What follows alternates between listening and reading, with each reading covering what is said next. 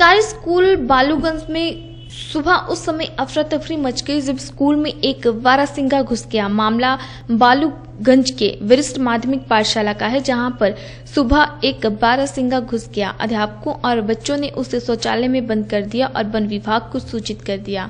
School में बारासिंगा घुसने से अफरा तफरी मच गई। वन विभाग की टीम मौके पर पहुँच गई और बारासिंगा जातीय को बाहर निकालने की कोशिश की गई। टूटी कड़ी चिड़ियाघर में कार्यरत जानवरों की डॉक्टर पूजा कवर सूचना के बाद तुरंत मौके पर पहुँच गई और बारासिंगा का स्वास्थ्य जाँच किया गया।